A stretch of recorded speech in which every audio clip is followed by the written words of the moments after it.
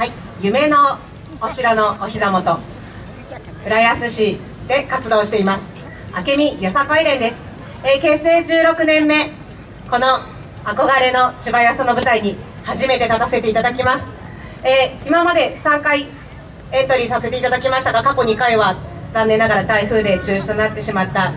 えー回でした。今回初めて参加させていただきます、えーこの日のために泣いて笑ってたくさん練習してきました。大人も子供も心を一つに全力で楽しみたいと思いますのでぜひお手拍子お心拍子の方ご一緒に盛り上げていただければと思います。